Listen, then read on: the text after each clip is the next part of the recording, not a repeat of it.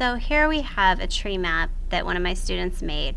She took five descriptive phrases uh, off of her paper. Her object was a plate.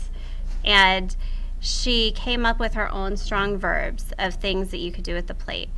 Then she came up with a list of similes that could describe the plate and made them into descriptive sentences based on the phrases, the strong verbs, and the similes.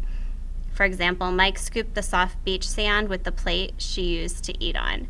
So I thought this was a good example. Uh, my favorite part about it is that the, this child could take something that wasn't very exciting, like a plate, and come up with some interesting, strong verbs, things you could do with it, like break it, throw it, paint it, and um, was very creative in doing so.